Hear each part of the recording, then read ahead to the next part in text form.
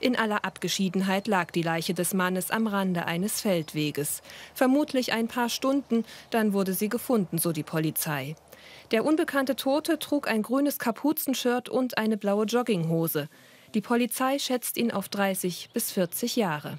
Gestern Abend, äh, kurz vor 22 Uhr, erhielt die Polizei von einem äh, Anwohner hier aus dem Ort Fambach die Mitteilung, dass ein eine männliche reglose Person am Waldrand in der Nähe von der Ortslage Fambach aufgefunden wurde.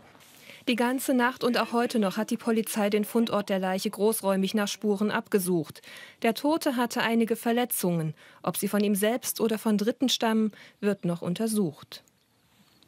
Die Staatsanwaltschaft Meining hat für den heutigen Tag eine rechtsmedizinische Untersuchung angeordnet, die uns möglicherweise Hinweise auf die Identität und auf die näheren Umstände des Todes bringen kann.